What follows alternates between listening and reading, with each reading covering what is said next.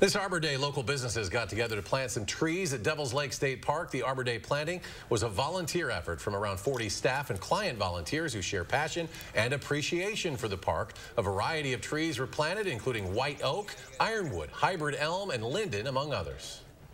There are some mature trees here, but uh, it's good to keep a succession of trees going. So as as some of those mature trees either fall to disease or storm damage, you already have a second layer growing up.